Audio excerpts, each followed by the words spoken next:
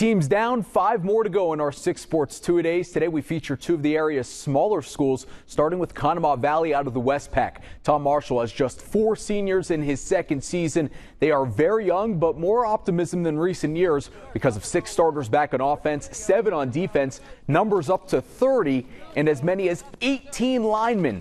Team leader Brandon Galasso says that could make the difference. Offensively, we always had trouble with our line.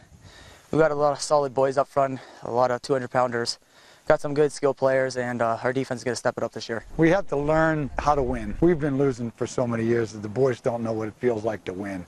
And I think that if they learn how, how good it feels to win, I think that'll be like contagious.